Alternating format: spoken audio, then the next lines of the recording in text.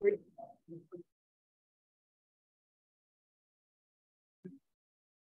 good morning. Good to see you again. And uh, today we're in John chapter 17, the prayer of Jesus uh, before he went to the cross. Last week we talked about Jesus pray for himself, pray that God will glorify him because he submit to his salvation plan. He's going to the cross as the Lamb of God to sacrifice for our sin and it's a very hard job for Jesus Christ, who know nothing about sin and who is the giver of life, a source of life, but to need to die and need to uh, be just uh, judged a sin uh, for our sins. So, but he willing to do it, and then he continued to pray for uh, the eleven around him, the early church, um, and then you even pray for us, the believers who come to know him through the ministry of the church in the centuries. So why don't we uh, pray again? Lord, we pray for your blessing as we turn to the Bible. Is your word, your revelation, your living word that give us life. And it, you said the word is your spirit. And we don't see you now on earth, but your inspired word, the Holy Bible, is our uh, revelation from God. So give us a teachable heart and soft heart to understand your word and be comforted and be encouraged. In Jesus' name, amen. Amen. All right, let's uh, turn to 17, John 17, verse 6. Let's read 6 to 18 first. 6 to 18. Got it? Let's you want to read for me, please? Mm-hmm. The whole thing. I have revealed you to those whom you gave me out of the world. They were yours. You gave them to me, and they have obeyed your word. Now they know that everything you have given me comes from you. For I gave them the words you gave me, and they accepted them. They knew with certainty that I came from you, and they believed that you sent me. I pray for them. I am not praying for the world, but for those you have given me, for they are yours. All I have is yours and all that you have is mine, and glory has come to me through them. I will remain in the world no longer, but they are still in the world, and I am coming to you. The name you, Holy Father, the name you gave me, so so that Holy Father protect them. Holy Father protect them by the power of your name, the name you gave me, so that they may be one as we are one. While I was with them, I protected them and kept them safe by that name you gave me. None has been lost except the one doomed to destruction, so that scripture will be fulfilled. I am coming to you now, but I say these things while I am still in the world, so that they may ha have the full measure of my joy within them. I have given them your word, and the world has hated them, for they are not of the world any more than I am of the world. My prayer is not that you take them out of the world, but that you protect them from the evil one. They are not of the world, even as I am not of it. Sanctify them by the truth. Your word is true. As you send me into the world, I have sent them into the world. For them I sanctify myself, that they too may be truly sanctified. Thank you. It's a prayer of Christ, uh, the the longest prayer Jesus uh, of Jesus being recorded. Um, here he poured his heart and they, he prayed in front of them because Jesus wanted to establish faith in among the believer, among the apostles, to keep them strong so that they can continue the tremendous task in front of them even many of them lay down their life for Jesus in order to testify for the Lord. So he cared about them and he prayed for them and wanted to help them to be strong. Uh, Jesus prayed for Peter before he stumbled. Peter has a heart, had a heart for God, but he didn't know his limitation, his weakness. But Jesus already predicted you will deny me three times before the, uh, uh, you deny me three times. So Jesus said, but I pray for you. Uh, Satan want to shake you. But when you return, when you come back, establish, build up your brothers. So Jesus here pray for us, pray for the disciples, apostles, and uh, he didn't pray for the world because he's basically contrasting this group of people belong to him, belong to God. And the world described as rebellious and uh, hostile to God, choose not to come to God. So it's contrasting the, the believers and the non and those who reject God. So that's why he said they are his. Uh, you know, Jesus prayed for us. Uh, in Romans 8, also, Paul said, Jesus intercede for us in heaven. And then um, when, G when we pray, we know God answered prayer. And he his hand extend and perform things that beyond our strength and ability. That's why there, in many things we we pray to God, we believe God can do something we cannot do. And uh, First John remind us when we pray in God's will, He will listen and also to uh, answer our prayer. And who is more obedient than Jesus Christ? When He prayed for us, He prayed in God's will and pray for our, our needs and health. And that prayer is not just words. That's protection. That's help and strength uh, there are many praying for me. I, I, I there are people may pray for you too in the prayer meeting every second uh, uh fourth Sunday. I mean, uh, third Tuesday, the church has prayer meeting online. I encourage you to come. Uh, there are people you may not know, but they're praying for you.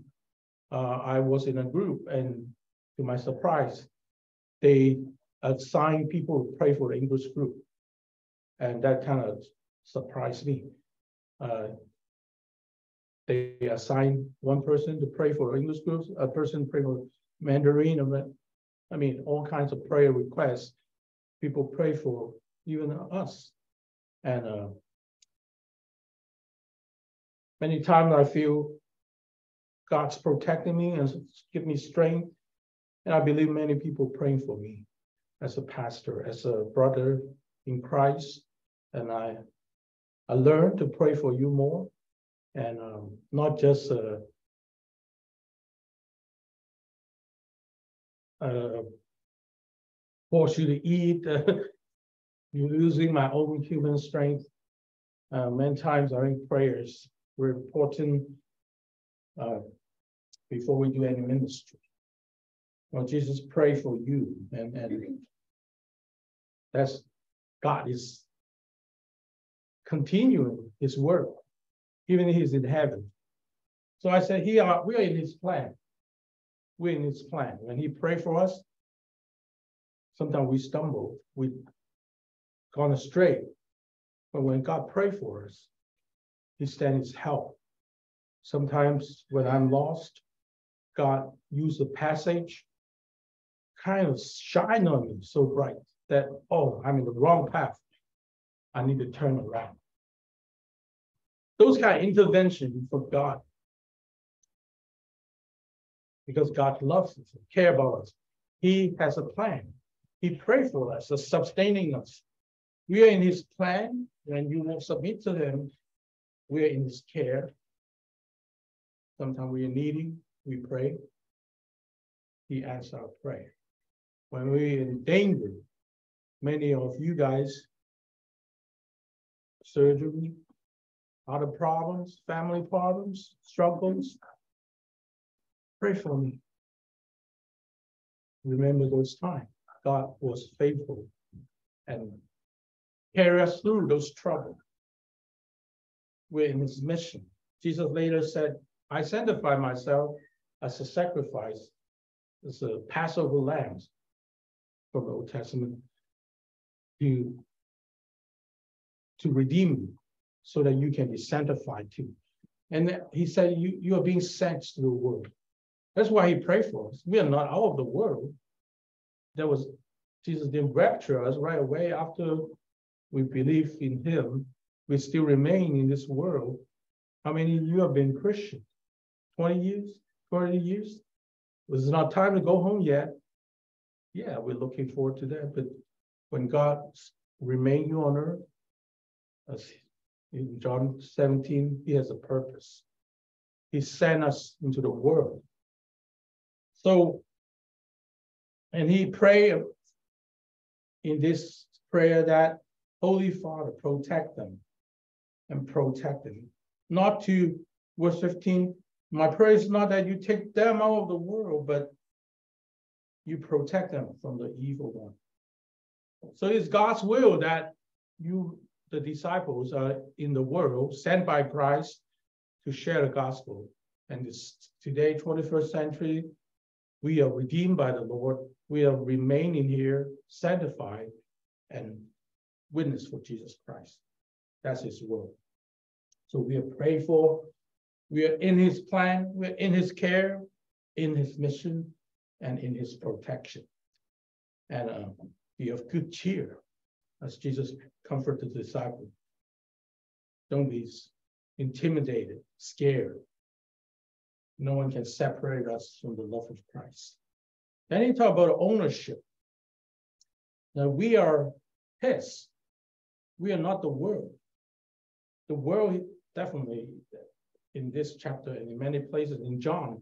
The world is the fallen world, the, the system, the value controlled by the spiritual power behind it. Uh, uh, ignorance about God, rebellions against God, um, and but we are living in this world. Uh, that's why there are always conflicts. There are always uh, people um, I mean, we, we have to be, I mean, it's not an easy task to be, to live as a Christian in a world uh, without God's help, right? Uh, we wish the world is more perfect, uh, less temptation, uh, less uh, uh, thing that's uh, against God. However, we are, we do it's God's will that you're in the world, but you're set apart. You, the, in terms of nature and uh, affiliation, we are God's children. We are not Satan's children anymore. We're God's children. So we are asked to walk in God's will instead of walking in sin, right? Separated from the sin. Um, and also, we worship the Lord. Sunday, we don't go to a Buddhist temple or we don't worship idols. We worship the Almighty God by nature and affiliation. We are his children. We are chosen, the Bible said. We are called out to be his children. The word church in Greek means being called out by God. Being called out, you are found by God. God called you out of darkness into the light uh, that's important because just like the prodigal son, when he messed up his life in his despair, he thought about, I'm my father's child. Why am I here so messed up? Wasted all his wealth and messed up my life, eating pig's food. I'm his child. I belong to my father. I should return to him. So that's the big difference in your life on earth. When you know your, I mean, where you are, who you are, you are a child of God, you belong to God. So you don't belong to this fallen system. When the world chase after all these things, all the um, pleasure of the flesh, all the greed, um, all the hatred, all the bad stuff. And you, when we participate in it, we may enjoy this, the pleasure of sin for a little while. But one day you, the Holy Spirit will tell you, you don't belong here. You don't belong to this kind of activities. You don't belong to this valley. Come out, come back to the Father. That's where we belong. We belong to the Father. We don't belong to this fallen world of sin. And he prayed for protection. Jesus prayed for God's protection. Uh, verse 11, he said, Jesus, I will remain in the world no longer. He's living to be glorified, exalted in heaven. Every knee shall bow, every tongue confess, if not now, one day in eternity. But he's leaving, that's for sure. Well, he's, he said he will send Holy Spirit to continue his work. But physically, he will not be there for them. And all you have is mine, and the glory has come to me through them. Jesus expect the disciple to glorify him. I will remain in the world no longer, but you are still in the world. All of you still in the world. And I'm, uh, I will remain in the world longer, but they are still in the world, and I'm coming to you. Holy Father, protect them by the power of your name, the name you gave me, so that they may be one as we are. While I was with them, I protect them and keep them safe by the name that you gave me. None of them has been lost except the one doomed to destruction. So the scripture will be fulfilled. So except Judas, all of them walk in God's will.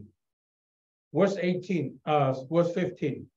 My prayer is not that you take them out of the world, but you protect them from the evil one. Uh, so we are prayed for for protection. So when God prayed for protection, he's praying in the center of God's will. Will God, will God answer him? Definitely, the Father will answer the Son's prayer. So he is protecting you, all of us. Sometimes we take it for granted. And sometimes after the danger, we forgot about God's love and protection. But God's protecting you today. But let God protect you in his umbrella. If you run away from him, even he protects you, you're more vulnerable to attacks. But God will call you back for sure. But the fact is, he's you're under his protection spiritual protection, even physical protection. Um, um, I think you must have your story to share. Uh, I have one. One time I was driving to Chicago from here to the seminary. Uh, I remember this uh, deacon was praying for me uh, road safety. I was too excited about finding Chinatown, thinking where to get good food later when I lived there. So I was kind of checking, oh, where's Chinatown? But there's a car in front of me. Uh, I think the engine died or something. It's like the, the light is so dim, it's like like 20 miles per hour. And I was driving like 65, 70, something like that. I was uh, looking, uh, you know, just like sometimes you look around. but, but praise the Lord, at the right time, I look back oh, there's a car right in front of me. So I slammed on the brake and turned. I missed it by inches. And I praise the Lord. Wow. It would be traumatic, I mean, and terrible before you start your seminary, you, you're in the hospital or something. Uh, God's protection. And Jesus later prayed for them that they should be sanctified sanctify them by the truth.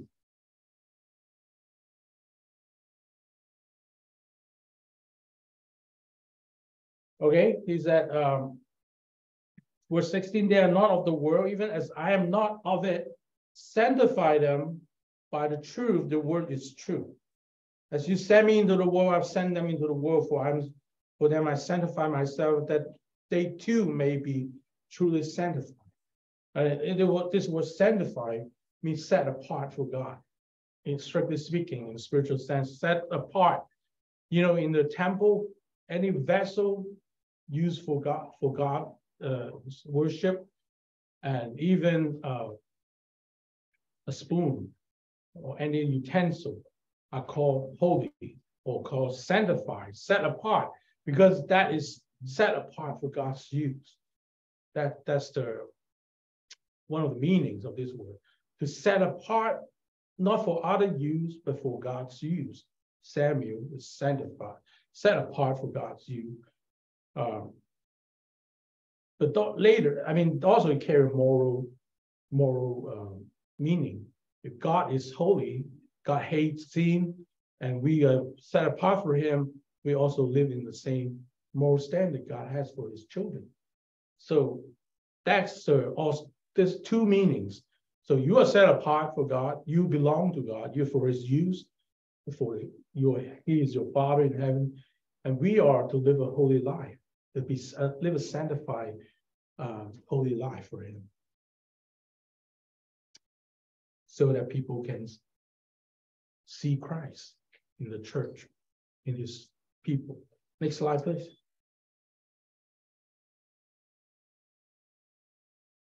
So let, let us uh, have a, see a few passages about being sanctified. What does it mean in the scripture?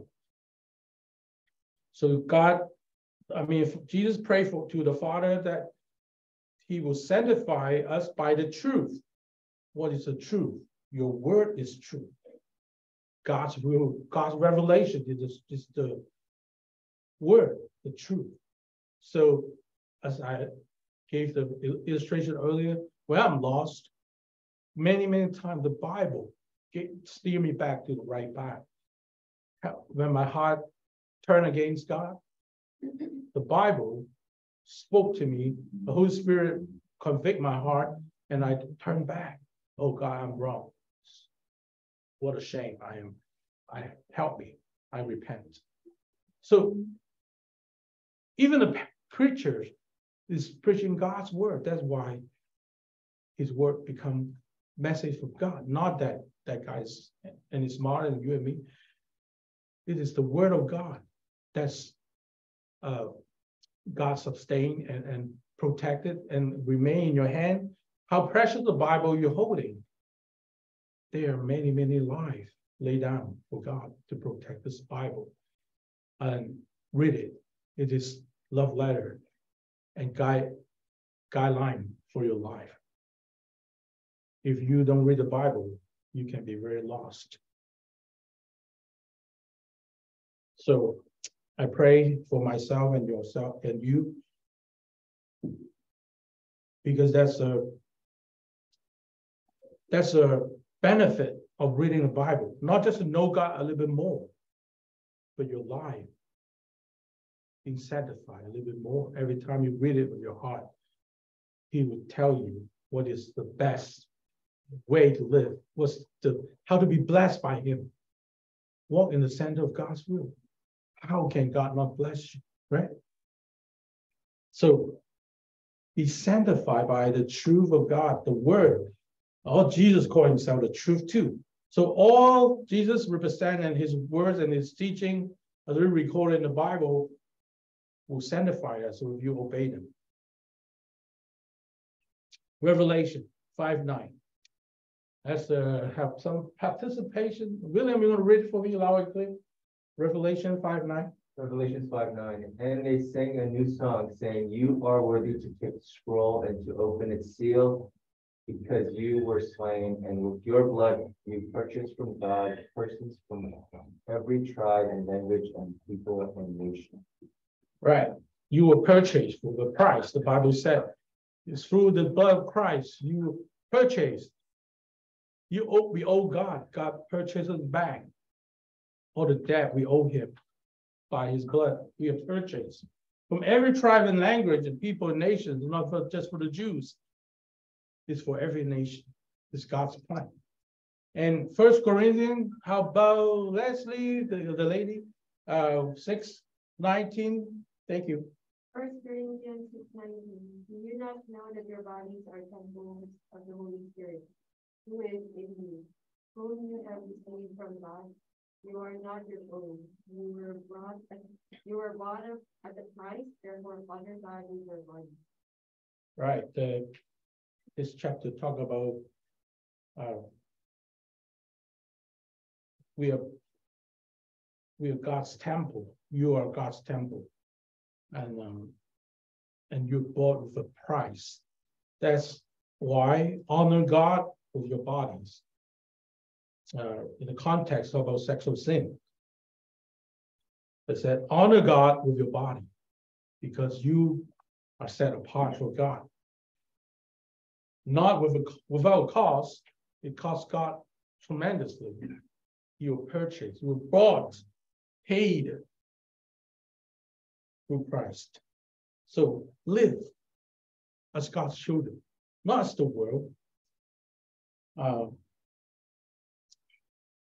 and then let me read first Corinthians 6 11. And this is what some of you were living that kind of lifestyle, but you were washed. Oh, praise the Lord. Sanctified, just set apart, and also justified. Hallelujah. I mean, not all sins are forgiven, justified. You're right with God again. In the name of the Lord Jesus Christ and by the Spirit of our God. That's the gospel. We were lost, but now we're washed, sanctified, and justified through Jesus and by the Holy Spirit. That's the gospel in a nutshell. Deuteronomy set apart the Lord for the Lord your God, every firstborn made, male of your herd and flock. What? To sacrifice, to offer the God's gift, as I pray in the offering, to remind them everything we, we receive from God.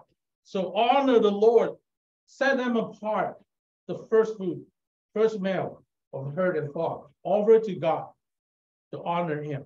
That's set apart. It's, the, it's this word, set apart. It's you, that's not for other use. Don't bring to the market to sell it. Set that animal apart for God's glory, for God's, to worship God. And Jesus himself set apart for that purpose. He came all the way from heaven pour out his life to live as a man, to represent you and me, to die on the cross for our sins, set apart for that purpose. First Peter 1 13. Therefore, with mind that are alert and fully sober, like a drunk person spiritually, set your hope on the grace to be brought to you. When Jesus was revealing at his coming, as obedient children, do not conform to the evil desire you had when you lived in ignorance. But just as he who called you is holy, so be holy in all you do. It is written, be holy because I am holy. And uh, fundamentally, we belong to God. We are set apart by God, washed by him, justified by him. So live continuously in that protection, in that grace, in that love. And we stumble, yes, but may the Lord convict our heart, protect us, keep us clean, keep us presentable to him.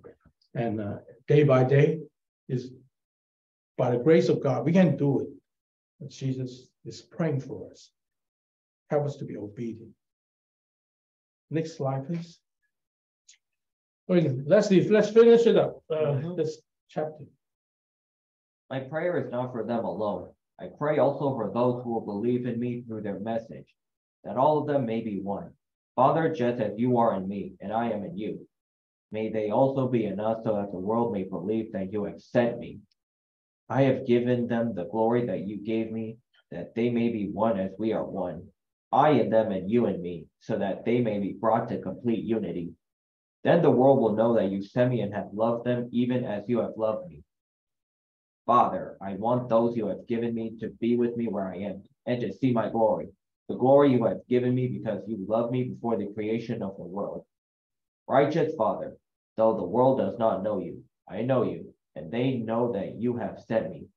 I have made you known to them and will continue to make you known in order that the love you have for me may be in them and that I myself may be in them.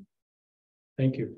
Jesus said, said a new commandment is that you guys love each other as I have loved you. If you love each other, the world will know that you're my disciple. And here he said, if you guys are united as one, as me and my father is one, you guys follow this pattern and be united, the world will know you God has sent the Son. It's like it, it's like a evangelism, uh, uh, uh, a, a character of an evangel, evangel, evangelistic church is to have love and unity among the, the, the Christians, because we are have a common ground. We are all purchased by God. We are we were sinner. We were now purchased by God, and we are um, to call, call to obey Him. And one of the uh, ways to obey God is to share, to testify for Christ among our friends and neighbors and in our workplace. Unity. We all share the same life, salvation from God through Christ, and we are one in the as the Father and and was and is one with the Son. And uh, the, the opposite, you will understand what how important it is. When you think of the opposite, where the church is divided, we everyone hate each other inside the church. Everyone, uh, everyone is like not loving each other, uh, criticizing, and full of like we're hostile atmosphere. Do you want to, as a non-Christian, we walk into that church? I think they can smell it. They can they can feel it. Something wrong with this group of people. And, and definitely not the, a way to glorify God. So Jesus prayed that the church will be loving. Jesus prayed that the church like will follow his love, follow God's love and follow God's uh, and be united, unity. So we pray that even the local church is full of unity, and we have to learn to have fellowship with other brothers and sisters. As long as they're not cults, they're not having wrong doctrines of extremely bad, uh, associate with them and proclaim Christ together. And then uh, talk about Jesus. Another thing is praying is our final destination our final destination, final destiny of believer. Father, verse 24, I want those you give given to me to be with me where I am and to see my glory, the glory that you've given me because you love me and before the creation of the world. And that's Jesus' prayer. Jesus, Jesus said, I want you, Father, to give me all this that you have given me to be where I am. Remember, Jesus said, In my Father's house, there's many mansions, many rooms. I go to prepare a place for you, and I will come to take you there. So, as when Christian died, we're going home. We are literally, we go back to see the Lord and unite, be united with him. He prepared a place for me in heaven.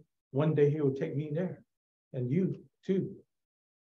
And that's what he's praying. Where we'll go after this life. The disciples, both of them die for him, but he will see them and see his glory when they enter eternity. And uh, that's comforting. Not just uh, in shame, but to see Jesus' glory eternal glory. We talked about glory last time. But one day when we leave this world, we'll see his glory. We will see how amazing this God is, how wonderful he loves us, how much he sacrificed for us. and how glorious it is a place in heaven that we'll spend eternity with him. We're all looking forward to that day. In the consummation, we'll be united. We united with God, our Maker, in His everlasting love. Jesus praying that they will one day, one day understand God's love, and when He is reunited with them in heaven, and then He would they will see His glory. So be rest assured, you are prayed for by the Savior. And when He prayed, God answered. When He prayed, He's taking action. Let's take a look at the finishing slide. This passage you all familiar. Says more than conqueror. You guys all say um victors in Christ Jesus. Yeah, the, it's the attack is fears, the temptation everywhere, but we are but the gospel, the, the biblical truth remain the same today, tomorrow, and until eternity. Uh, basically, we talk about God's protection, and here, well, Paul again remind us God's protection. Verse 31. What then shall we say in response to this thing? If God is for us, who can be against us? Underline that in your Bible. If God is for you, for you, for, for his children, who can be against us? and who did not spare his own son and gave him up for us all, how will he not also, along with him, graciously give us all things? When you have the greatest gift of salvation, do not worry too much about other details. He has given you the biggest gift. Will he not also take care of you? Is that even your hair be counted? Who will bring any charge against those who God has chosen? It's our sin. But he's God who justifies us. Who then is the one who condemns our sin? Oh, no one. Because Jesus Christ, who died, more than that, was raised alive, and he said the right hand of God is also interceding for us, praying for us. Oh, that's the victory. That's the name. That's the proclamation. Done deal we're set free by, by the blood of Christ. Yeah, we still have many sins today and tomorrow and down the road. By the Lord's grace, first is forgiven. Second, he continues sanctify me. So pray, Lord, teach me, lead me every day so I can walk in your light. He's praying for you who will separate us from the love of Christ. So trouble, hardship, persecution, famine, nakedness, danger, assault. Let's skip the first seven. No, in all these things, we are more than conquerors through him who loves us. For I am convinced that neither death, nor life, nor angels, nor demons, neither present nor the future, nor any power, neither height, nor depth, nor anything else in all creation will be able to separate us from the love of God. That is in Christ Jesus our Lord. Paul said it all. And we just trust this passage, put it in our heart, hold on to it, walk with the Lord every day, and you're in safe hands. Let's pray. Heavenly Father, we praise you because you didn't start the salvation plan and leave, leave us alone and just look at us and see us struggle. Oh God, you started something and you continue and you will continue and lead us all the way until we arrive heaven. Thank you, Lord Jesus, for your love and grace and your protection and your sanctification in our life. And you have charged us with your mission. So help us more and more to, to walk in that. And um, Father, we pray for each other and we are called to be united in you. Is there any uh, strive any uh, anything that is uh, hindering us to have genuine God's love among us and uh, and fellowship, Lord, cast those things away so that we as a church can glorify you in unity and in love in Jesus Christ. So bless your children. May the grace of the Lord Jesus Christ, the love of the Father, and the fellowship of the Holy Spirit be with you all. Amen. Amen. Amen. Okay, we have lunch together.